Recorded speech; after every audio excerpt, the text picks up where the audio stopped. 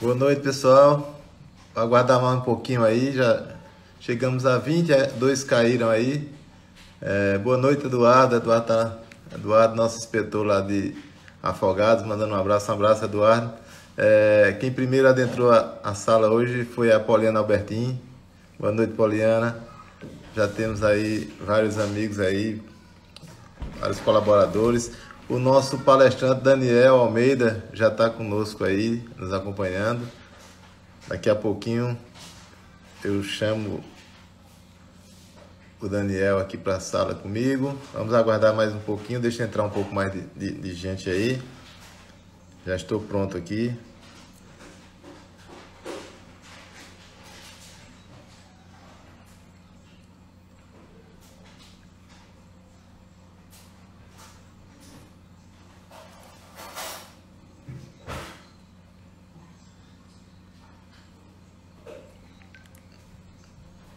Normalmente no terceiro minuto a gente inicia. Eu pergunto se estão me ouvindo bem. Faça alguém aí faça um ok ou, ou assim se não estiver ouvindo bem.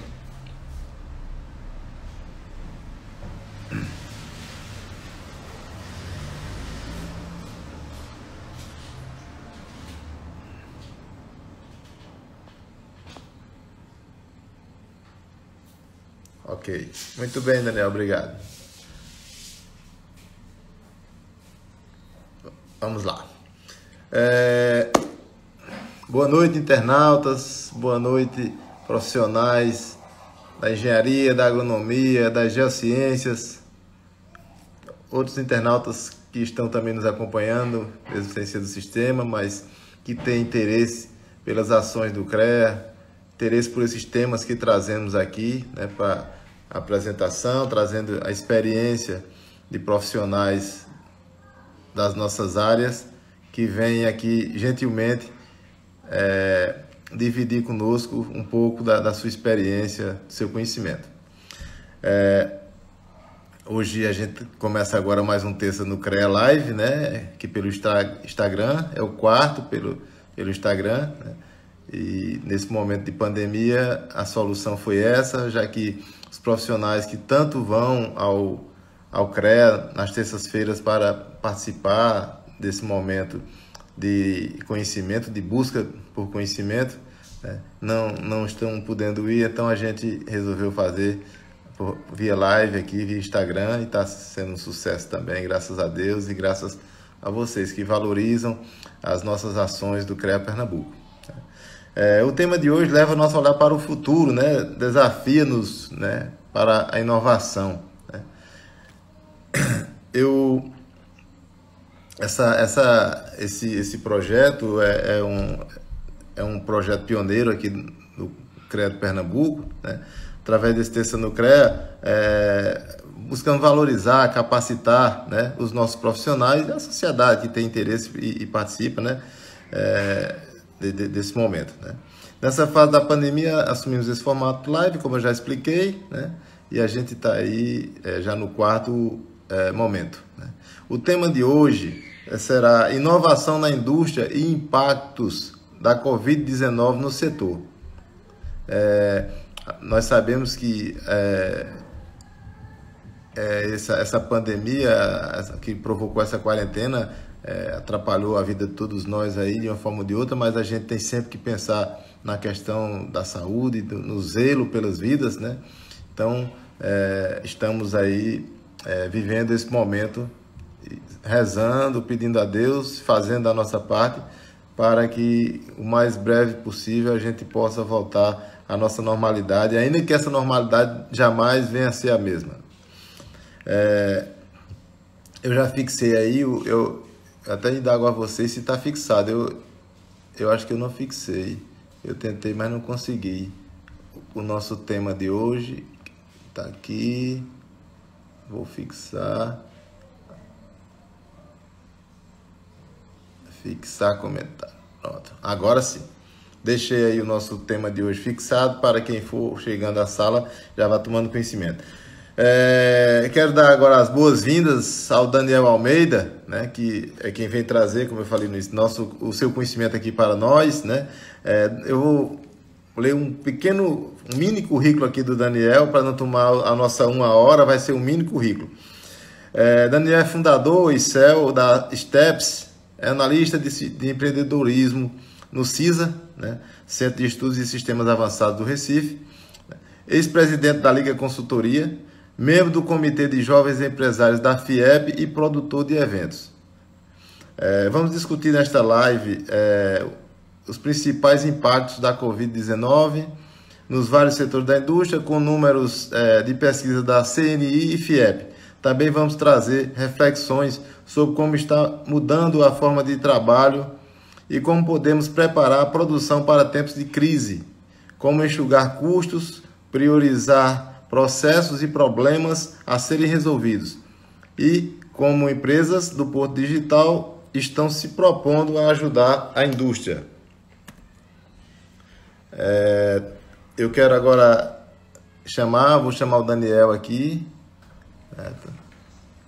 Daniel Almeida, deixa eu buscar aqui.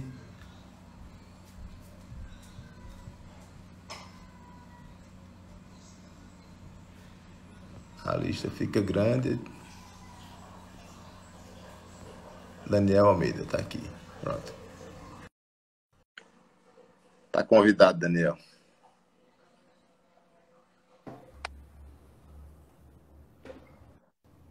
Opa, Daniel. Oi, Evandro. Me escuta Boa bem? noite.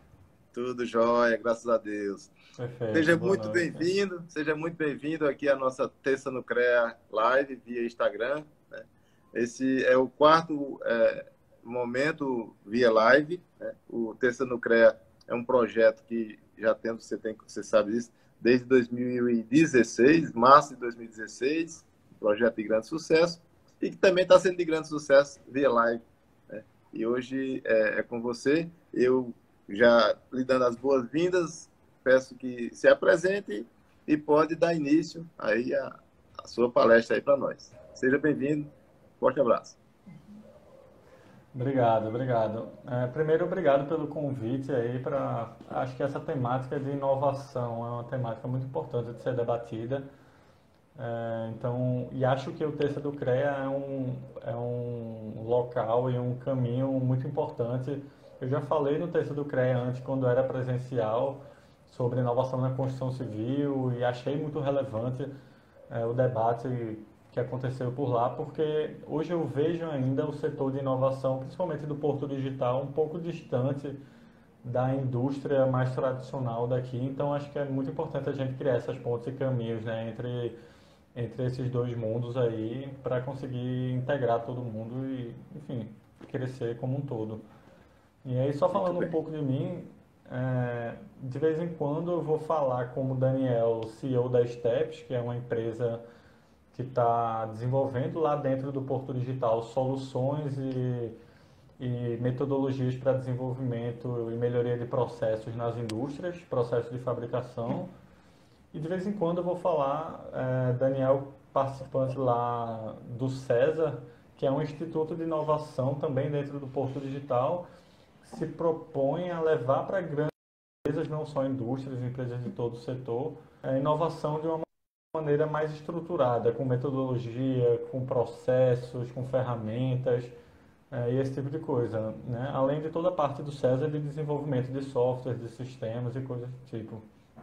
Então, de vez em quando eu vou falar um pouco como Daniel Steps, de vez em quando como Daniel César, É, tranquilo. porque acho que essas coisas se completam, acabam se complementando, né? Com certeza, Daniel.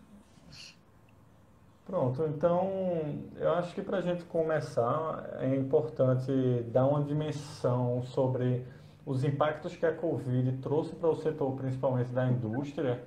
Então, só para vocês terem uma noção, é, nas últimas pesquisas que saíram, tanto da CNI, né, que é a Confederação Nacional da Indústria, quanto da FIEP, é, a gente percebeu que existiu uma redução de cerca de 18 é, para 19% do faturamento da indústria. Então, a indústria recuando quase 20% em um mês é, de março, entre março e abril, é uma queda bastante grande, inclusive é a maior queda histórica desde que começou a se mensurar esse tipo de dado. Então a gente passa hoje pelo pior cenário de indústria que a gente já enfrentou é, nessas últimas décadas aqui no Brasil. Não é a gente passou, e olha que a gente passou por algumas crises grandes, né? A gente passou por 2008, a gente passou por 2015 e 2016, que foram já momentos difíceis. E alguns setores da indústria vinham se recuperando muito bem, como é o caso da construção civil, né? A gente vinha de, de trimestres aí de alta e de crescimento e de uma perspectiva de crescimento para esse, esse ano agora de 2020, o que acabou não acontecendo por causa da, da Covid-19, né? Inclusive... Daniel, Oi, me diz. permita perguntar, é, esses números, eles estão é, relacionados até que período anterior? Por exemplo, porque nós temos é, a década de 80 considerada a década perdida, né? É, uhum. A década de 90 também não foi boa, foi, foi muito ruim também. Então, mesmo comparando com essas épocas também, essa é considerada, já é considerada uma perda maior para a indústria? Não, é, essas informações aqui são referentes a desde a época de 2002. Ah, certo. É, como alguns desses dados começaram a ser mapeados, dados certo. como intenção do industrial em realizar investimentos durante o próximo ano, expectativa do industrial e coisas do tipo. É, então, antes dos anos 2000 não é onde a gente está comparando aqui, tá? Muito bem, ótimo. Pronto, então a gente teve alguns setores sendo muito mais impactados do que outros setores de indústria, né? inclusive alguns setores demonstraram crescimento, foram pouquíssimos, é, mas a grande maioria dos setores tiveram quedas bastante expressivas. Então, eu já citei o setor da construção civil, por exemplo, que foi um setor que, por decreto, foi impedido de realizar suas atividades durante o período da Covid e hoje, no, com o plano de retomada que foi apresentado pelo, pelo governo do estado, o setor de construção civil, durante as próximas semanas, vai poder operar somente com 50% da sua capacidade. Então, esse processo de retomada também vai ser lento, né? Então, não é uma coisa que vai melhorar da noite para o dia. E fora o setor de construção civil, acho que o setor que teve uma queda mais expressiva aqui foi o setor de auto, a, automobilística, indústria automobilística como um todo, e por consequência as indústrias acessórias a esse segmento. Então, desde indústria de fabricação de outros tipos de veículos de transporte até veículos de uso pessoal, todas foram impactadas muito fortemente, com, queda, com diminuições aí chegando próxima dos 90% do, do faturamento dessas empresas. Então, realmente foi um setor que parou e a gente tem estoques muito altos hoje é, no estado dentro desse setor, né?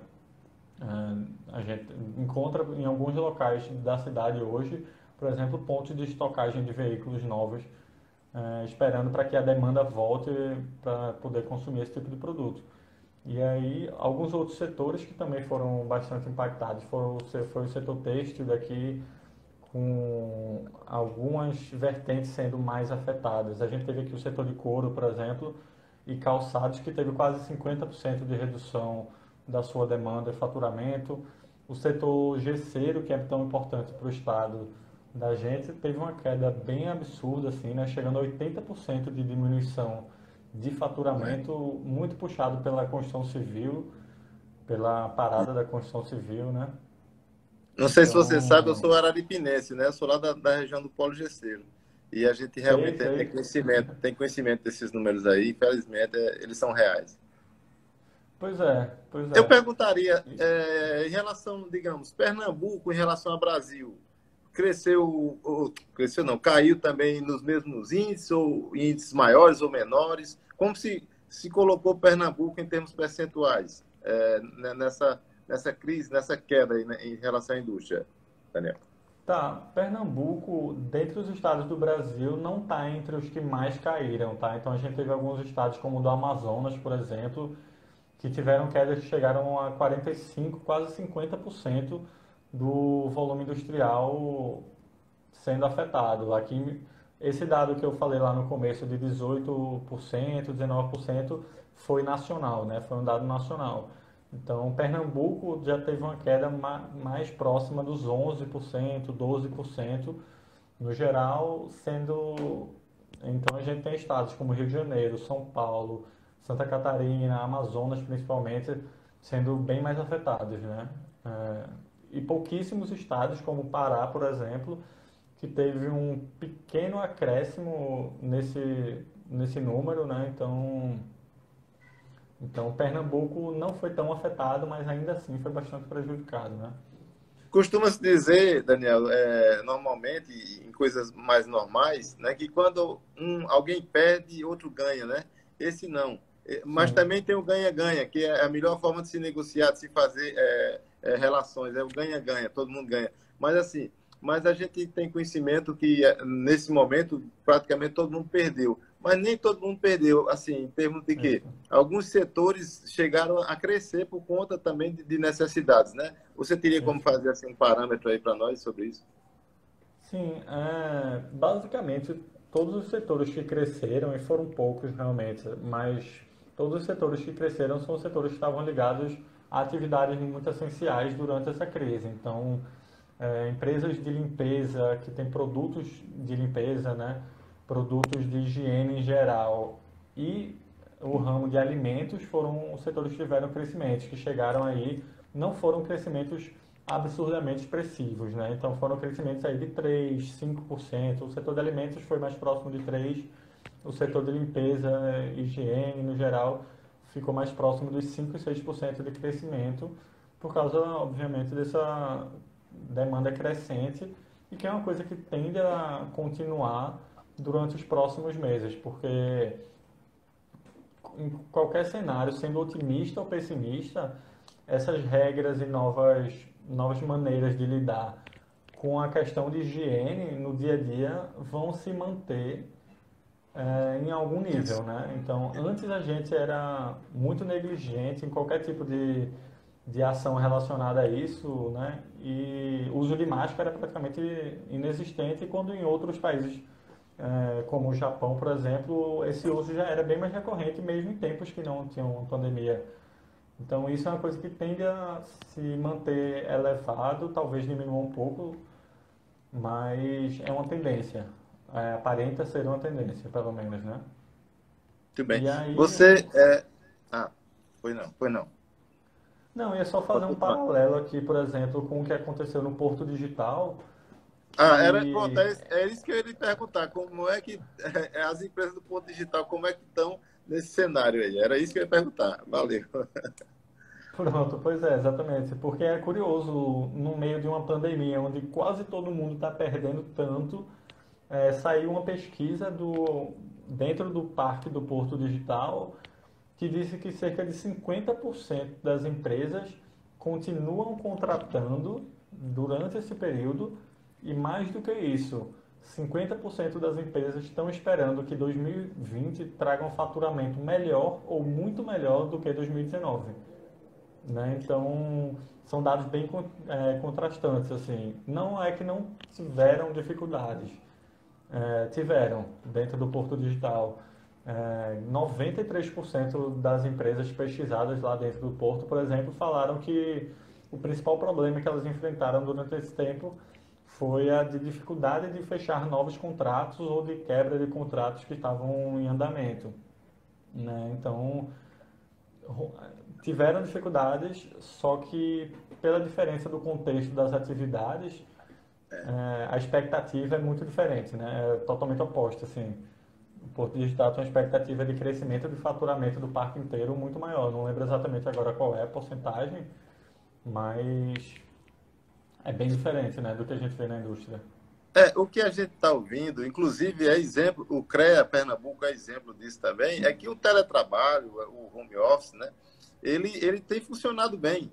No CREA mesmo tem Sim. funcionado bem, e eu tenho até aproveitado esses momentos aqui para elogiar a nossa equipe, não, não só de gestores, mas toda a equipe do CREA, todos os colaboradores têm produzido bem e, em alguns casos, estão conseguindo produzir mais do que eu conseguia fisicamente, porque às vezes tem a dificuldade de, de transporte, essa coisa toda.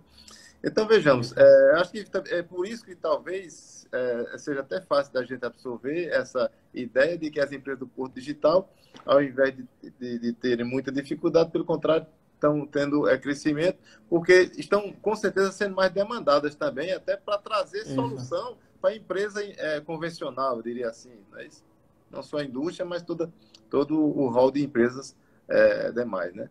Muito bem, Daniel. Pois é. é a grandíssima maioria, acho que mais de 90% das empresas do Porto Digital migraram realmente para o home office, de, é quase que 100% dentro das empresas, né? Então, e essa migração sofreu no primeiro mês, eu percebi que sofreu lá no César, por exemplo, no primeiro mês sofreu com uma certa adaptação que era necessária e que é normal que aconteça esse período de adaptação, só que depois é, esse impacto foi menos, foi menos grave do que, do que se imaginava que seria, né? Da falta de trabalho presencial. Claro que tem uma série de questões é, psicológicas e coisas do tipo quando, quando não existe o contato físico com outro e esse tipo de coisa, depressão. Isso é uma coisa que acontece e que é natural que aconteça num ambiente desse, mas num geral essa tradução foi bem feita. E é uma coisa que eu acho que a indústria pode pode absorver de alguma maneira. Óbvio que na indústria a gente tem processos muito, muito que demandam presença física. A gente tem é, principalmente atividades operacionais ali, em chão de fábrica e coisas que, que inevitavelmente vão precisar de algum tipo de acompanhamento presencial, né? Só que tem um dado que é interessante, que é que de 5 a cada 16 é, técnicos, profissionais técnicos, ou seja, entra aí todos os engenheiros, gestores e, e profissionais que não exercem atividades é, com, esse, com esse tipo de demanda física, assim, poderiam ter migrado para o home office e nas indústrias podem migrar. 5 de 16, né? quase metade, assim, pouco, pouco menos. Mas isso não acontece e não acontecia muito antes. Né? Então, os gestores de indústria muitas vezes estavam dentro da indústria para solucionar problemas e analisar coisas ali em tempo real, o que para algumas atividades chaves realmente faz sentido, é necessário uma supervisão mais próxima, só que em alguns casos não. Né? O que precisa rolar é essa adaptação de todo esse modelo novo de trabalho é, mais, é, mais remoto, né? Deixa eu fazer um, ler aqui um comentário aqui do, do, do Maxwell, que é, inclusive ele é fiscal do CREA. Um abraço, Maxwell. É, ele diz aqui, ó, o futuro agora será repensado, redução de gastos provado neste momento, redução de custos, aluguéis, etc. Realmente é isso. Eu tenho conversado com alguns engenheiros, inclusive tem até um cunhado meu que é engenheiro de uma indústria, e ele disse que está fluindo tudo normalmente nessa, nessa linha. É como você disse, é, quem pode trabalhar fora do piso da fábrica está tá trabalhando bem, produzindo bem, sem problema algum, e já estão já dizendo que até acham que devem até, de certa forma, continuar também né, com, com, com, com, o teletrabalho em muitas áreas. Né? Então, assim, então você entende que, é, como é, o que, que se diria assim, tem para os gestores da indústria, nós estamos falando mais especificamente da indústria, é, você vê que é, tá, tá fácil de, de resolver, eles estão conseguindo, não é nem fácil, eles estão conseguindo resolver, então, estão saindo da, da, crise do impacto inicial, então já seria isso? Veja, a demanda, por exemplo, com essa nova, com essa nova recomendação aí, essa nova, esse novo plano, na verdade, de retomada da economia que saiu agora há pouco, muitas indústrias ficaram insatisfeitas é, pela é, eu diria assim, pela lentidão que vai ser necessária para que a gente retome na plenitude as atividades é, econômicas. Então, é, por mais que se permita agora ainda que se produza, e o setor da construção civil, por exemplo, está limitado ainda, né? tem 50% só de, de, de possibilidade ali de trabalhar, né? De capacidade de trabalho, só que outras indústrias, é, tem algumas indústrias que podem, por legislação, trabalhar na sua plenitude, só que a demanda ainda não chega imediatamente, né? Porque os shoppings vão reabrir aos poucos, o comércio vai reabrindo aos poucos, algumas atividades vão sendo priorizadas nesse caminho, e aí essa dificuldade da demanda ainda vai persistir tá? durante um certo tempo. Então essa é uma dificuldade que os gestores vão ter de controlar o caixa nessa retomada e pequenas empresas, pequenas indústrias são mais prejudicadas durante esse processo porque não tem caixa justamente para segurar a lentidão desse processo de, de retomada, né? E aí, fora isso, eu vi realmente muitas indústrias conseguindo adaptar bem os seus processos internos a essa nova realidade. Então, vão ser exigidos, por exemplo, os novos protocolos de higiene dentro das indústrias, de distanciamento, atividades que eram feitas é, eram feitas juntamente entre dois, três colaboradores ali próximos, vão ter que ser repensadas, layout repensado, algumas coisas vão ter que ser repensadas é, para algumas indústrias.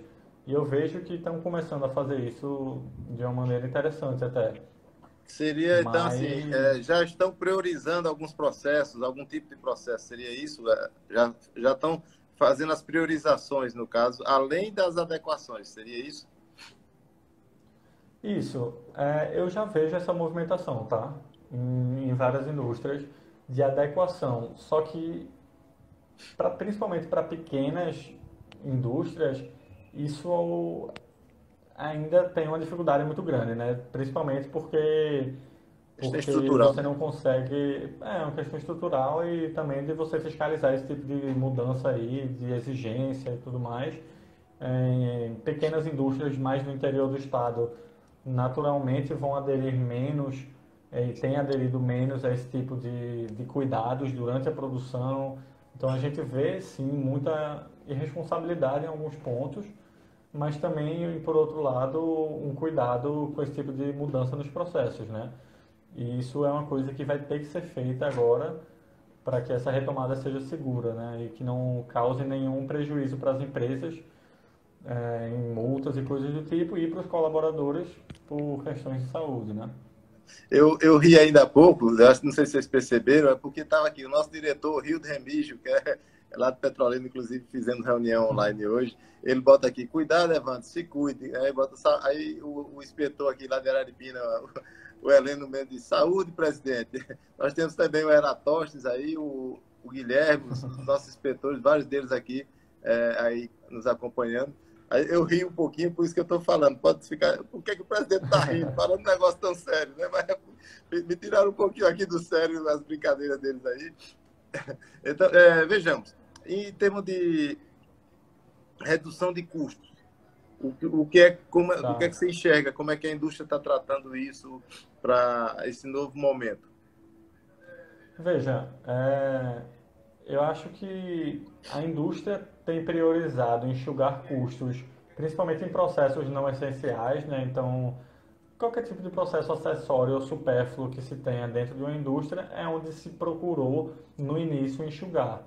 Né? Então, desde questão de iluminação ou coisas do tipo assim, é, é onde se procura inicialmente enxugar os custos.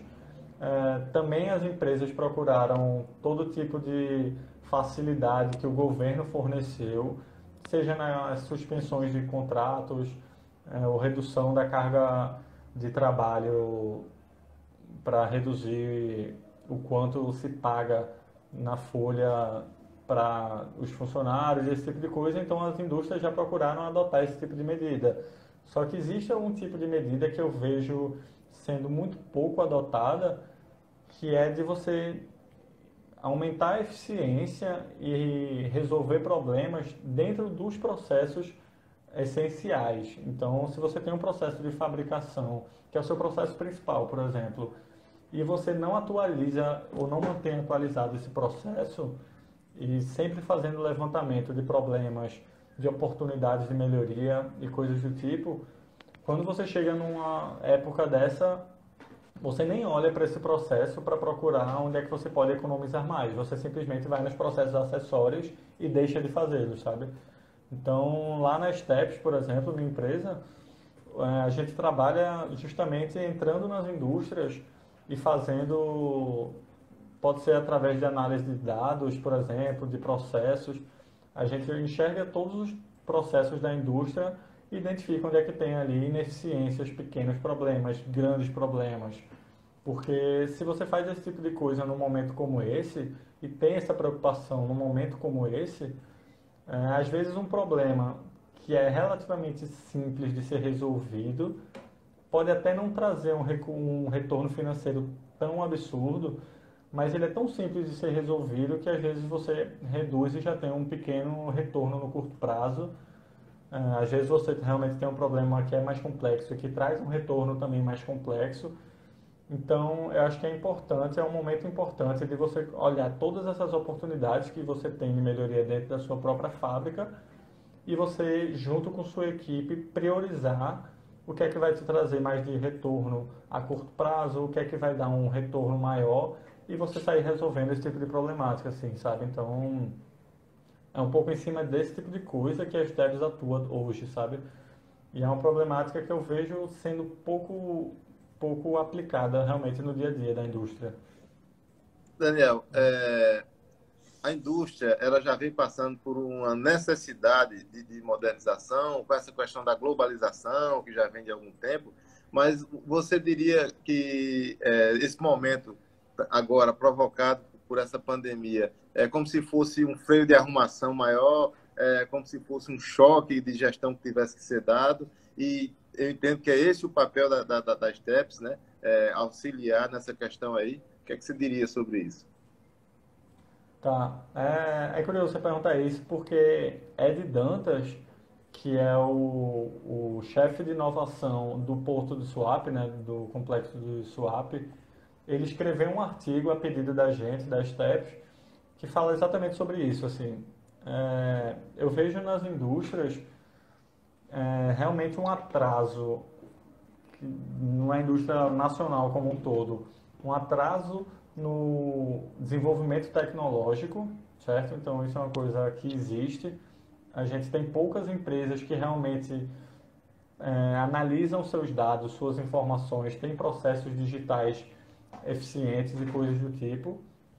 Então isso prejudica tanto é, na retomada da economia, por, justamente porque a indústria demora um pouco mais a responder? É, responder, responder, exatamente. É, então, isso dificulta um pouco esse lado. E isso é causado muito pela falta, é, Ed fala muito bem isso no texto, que isso é causado por, pelo fator de, de você focar sempre no processo e nos processos e nos produtos que você que lhe dão um retorno hoje. Então as indústrias e as empresas investem seus recursos simplesmente para manter os seus produtos atuais, seu portfólio de produtos atuais e seus processos, fazendo simplesmente pequenas inovações e alterações incrementais nesses processos que existem. Então, quando, você, quando chega uma crise do tamanho dessa, ou até menor, ou problemas de algum outro tipo, as empresas não estão preparadas para se adaptar a essas novas realidades. Então, se você tem, por exemplo, uma parte, uma parte do seu faturamento e dos seus investimentos focada nos seus projetos atuais e que te dão um retorno imediato, e você reserva uma parte dos seus investimentos no desenvolvimento de novos produtos, de novos mercados, de novos processos e coisas do tipo, e você a todo momento tem dentro da sua indústria esses, essas duas partes sendo desenvolvidas, processos atuais e processos que vão te dar um retorno lá no futuro, ou que vão te abrir um, um mercado lá no futuro, é, quando a gente encontra um cenário de incerteza e que muda um pouco de como a gente está acostumado a fazer as coisas, você já tem alternativas sendo desenvolvidas dentro da sua empresa e você se adapta muito mais rapidamente, sabe? Então, esse é o, o César lá dentro do Porto Digital faz isso e para grandes empresas, principalmente, ajudando essas grandes empresas a estruturar é, de maneira a governança desses processos de inovação, né? Como é que você prioriza, como é que você prioriza seus investimentos? Como é que você divide seus investimentos em, em processos, enfim, em produtos, em produtos futuros e coisas do tipo? Eu acho que isso é bem fundamental, assim, que a gente tivesse feito para passar por uma crise de uma maneira mais fácil, assim, sabe? É, a, ino a inovação é, ela é necessária, não só importante, né? Temos aí também o, a presença aí do, com a gente também do Els Militão, que é inspetor lá de Petrolina, é, a Roberta Menezes, que é, foi inspetora de Petrolina, ou de Serra Talhada, aliás, hoje é, é, é, é conselheira, mas está tá licenciada. O Felipe Sampaio aqui, meu amigo Felipe, um abraço grande. Ele bota aqui, grande Evandro, primeiro presidente natural do interior de Pernambuco. Ele fala presidente do CREA Pernambuco. É, é, Daniel, eu lhe perguntaria o seguinte: nós falamos aqui né, nessas lives é, para muitos engenheiros, muitas engenheiras e agrônomos, geocientistas. É, vejamos, você entende que a indústria ela pode nesse momento abrir um grande espaço de oportunidades para, para os engenheiros, em termos de, de forma geral? Veja, em questão. Talvez essa, essa seria, talvez essa seja uma oportunidade para os engenheiros é, buscarem também mais fortemente na indústria. E aí, quando fala de indústria, a gente está falando mais da indústria é, tradicional, mas tem a indústria da construção civil, que essa já, já, já, já, já passou aí pelos seus momentos mais difíceis e está começando essa retomada aí. Como é que você viria, como é que você apresentaria para nós aí essa questão dessas oportunidades aí? Veja, é, uma questão, se você for olhar do ponto de vista de contratação e, e geração de, de, empregos, essa retomada, agora a gente teve um período de, de demissões que deve ter se fortalecido agora em maio para junho. Então, foi um período que deve ter dificultado um pouco esse tipo de contratação de novas pessoas.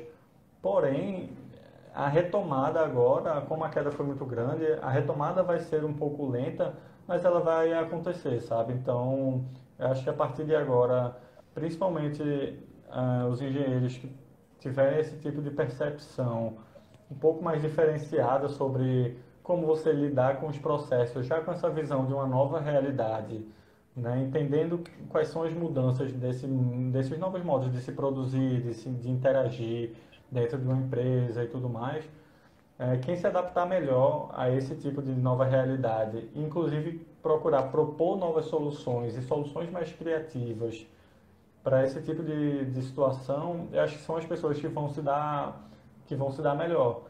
Então, então eu acho que está ficando cada vez mais claro que o setor de engenharia, todos os setores, mas assim, o setor de engenharia, eu falo pelo contexto onde a gente está conversando agora, é um, é um ramo que precisa cada vez mais desse tipo de conexão, sabe, assim, de criatividade. Então, você gerar conexões, entender o que é que está acontecendo no porto digital, entender o que é que está acontecendo no setor da indústria, como é que você liga essas coisas e se conecta para gerar soluções alternativas dentro das indústrias, é, vai ter quem tiver esse tipo de perfil, acho que vai se sair muito bem nesse cenário, assim, sabe? Eu não tenho uma previsão muito clara nem dados para te dar assim sobre contratação e expectativa, porque é muito incerto ainda dizer que ah, no próximo ano vai ter uma recuperação forte ou não, e coisa do tipo. Ainda é muito cedo é. para a gente fazer previsões desse tipo, né? Mas não, é, a minha pergunta. Cenário... É, a minha pergunta foi mais na linha de cenário mesmo, né? Que tivessem algum tipo de cunho social, por exemplo, a gente viu algumas indústrias de, do ramo automobilístico desenvolvendo respiradores ou auxiliando na manutenção de respiradores para o tratamento de pacientes com Covid-19. Então, quem tiver condição de fazer esse tipo de ação vai ser super bem-vindo, sem dúvida nenhuma doações para instituições que estejam lidando com prevenção e tratamento de pacientes também vai ser muito bem-vinda, mas existem possibilidades, eu acho que é um momento da gente pensar colaboratividade com uma solução para que todo mundo saia melhor dessa crise ou menos pior. E a gente na Steps, por exemplo, desenvolveu, resolveu desenvolver um projeto que é o Ajude Outra Empresa, que é um projeto que tem o intuito de empresas se cadastrarem oferecendo seus serviços ou gratuitamente ou de forma super facilitada para outras empresas. Oi. Acho que houve um probleminha na conexão de, de, de Daniel. Deixa eu trazer ele de volta.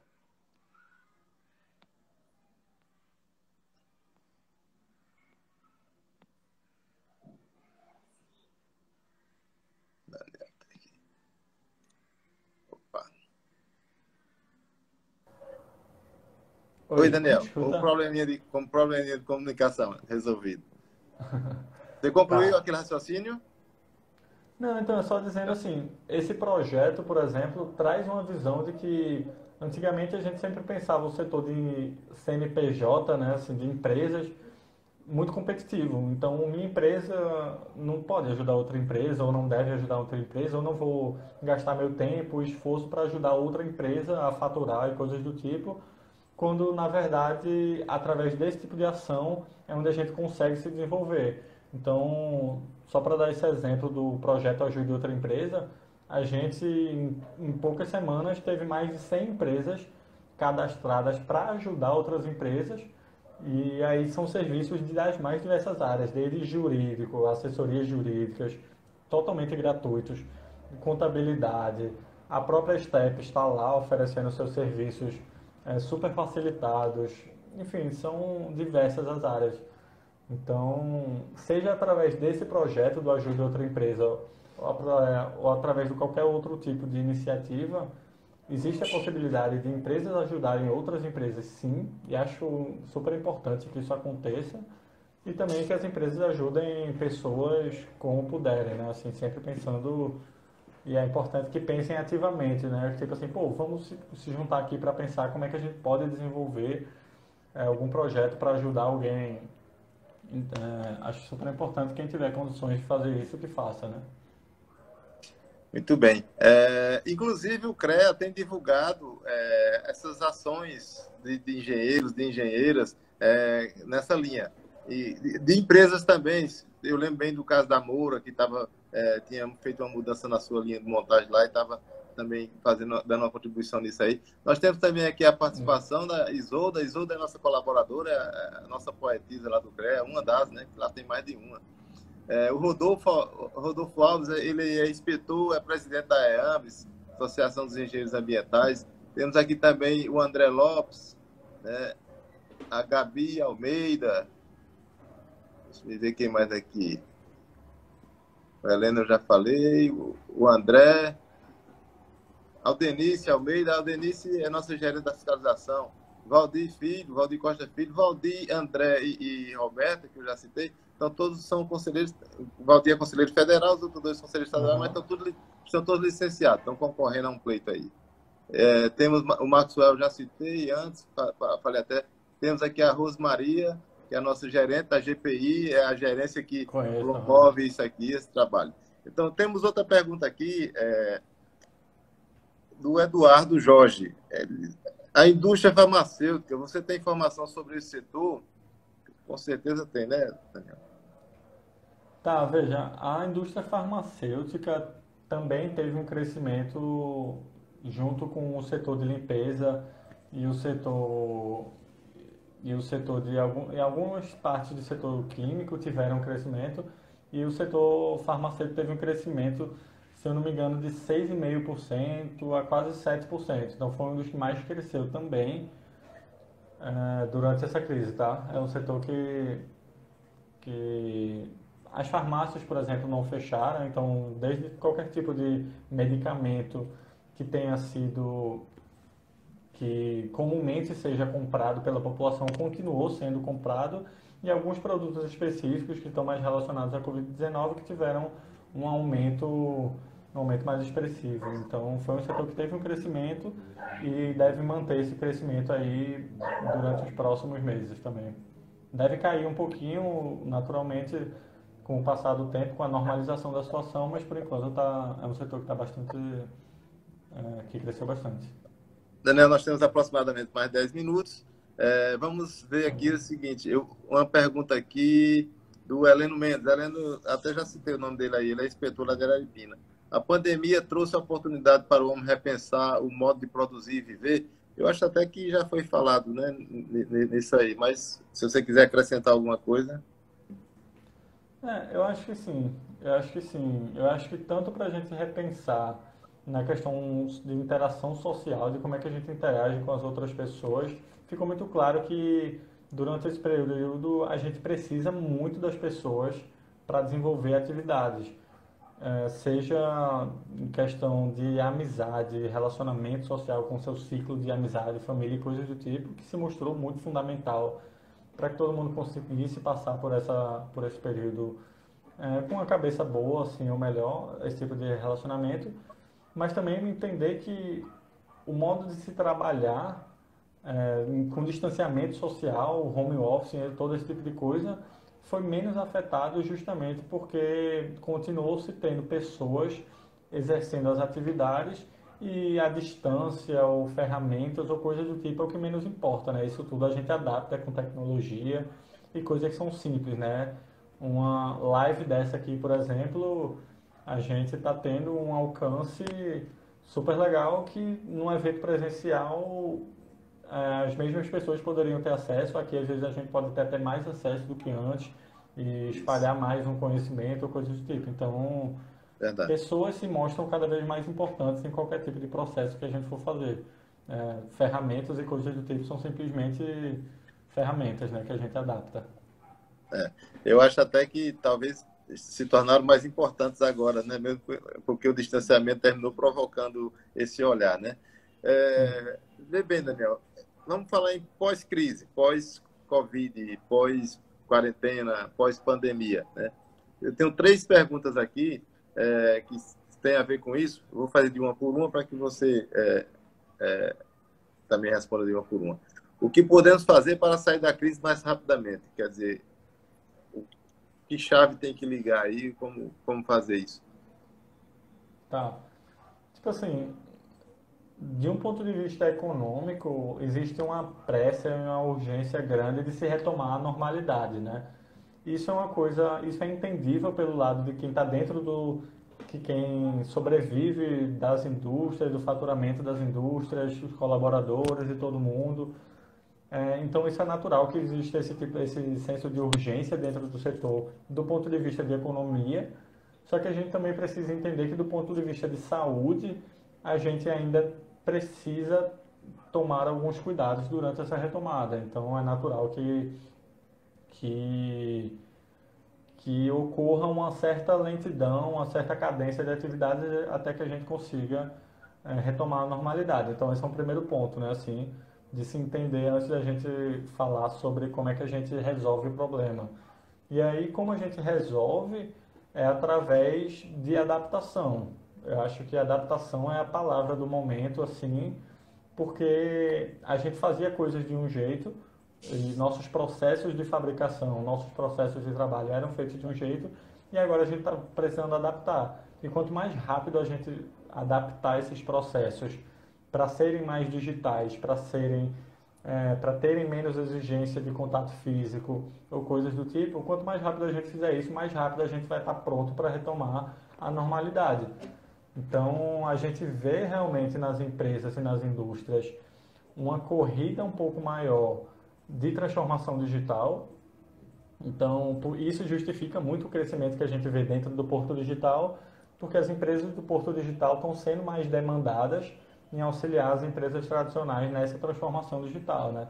Seja estruturando seus bancos de dados e de informações para que remotamente é, os gestores possam analisar o que é está acontecendo dentro de uma produção e tomar decisões remotamente de maneira super eficiente e rápida, mais rápida e eficientemente do que era feito antes, inclusive, e, e outros tipos de inovação durante que podem ser implementadas dentro da indústria. Então, eu vejo essa transformação digital como sim sendo uma tendência e as empresas precisam implementar só que de maneira estruturada e pensada, né? Porque muita gente acha que transformação digital é simplesmente você usar de uma chamada por vídeo ou de coisas do tipo para realizar suas atividades e não é isso, né? É, transformação digital é, é, engloba tudo o que se entende por experimentação rápida, que é você testar novas coisas dentro da sua fabricação, dentro dos seus processos, para rapidamente você encontrar soluções aderentes e coisas do tipo. Enfim, então eu acho que esse caminho de adaptação é o principal caminho para você retomar o mais rapidamente possível. Porque a demanda vai vir aos poucos, né? Então não tem como a gente acelerar tanto isso.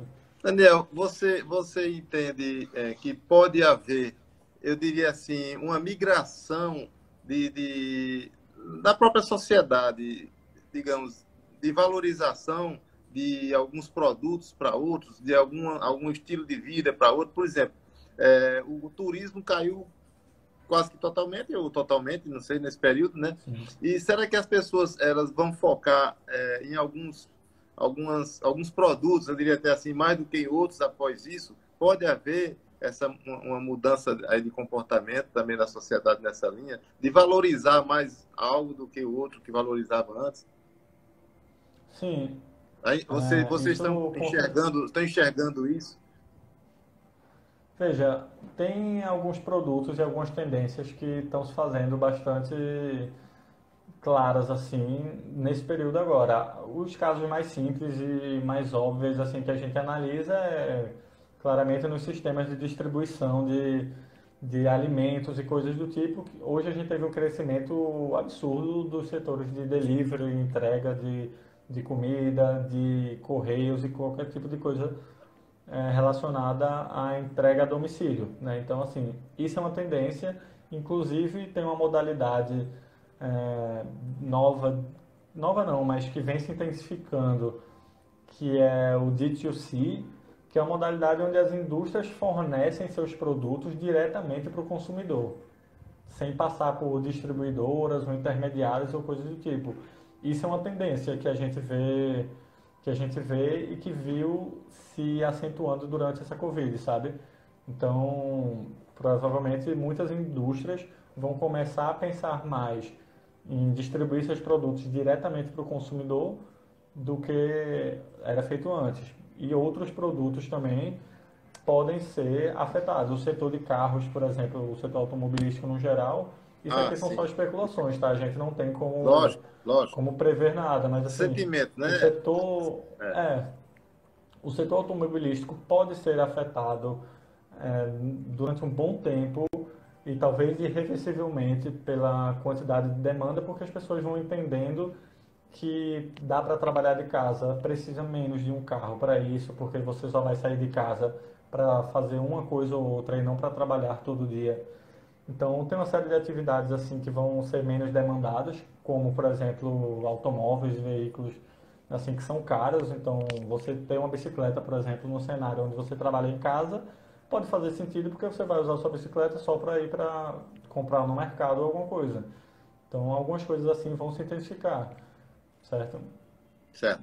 É, eu tinha três, eu vou fazer só mais uma, porque é, a gente já chegou no nosso limite para a gente não ser bloqueado depois. Mas, assim, no que tá. você puder dizer, no mais rápido possível, o que podemos levar de aprendizado desse período para o futuro? Ótimo. É, o primeiro ponto que eu acho que é fundamental que se perceba e que se tenha percebido dessa Covid é a importância das pessoas em todo tipo de processo que a gente for desenvolver.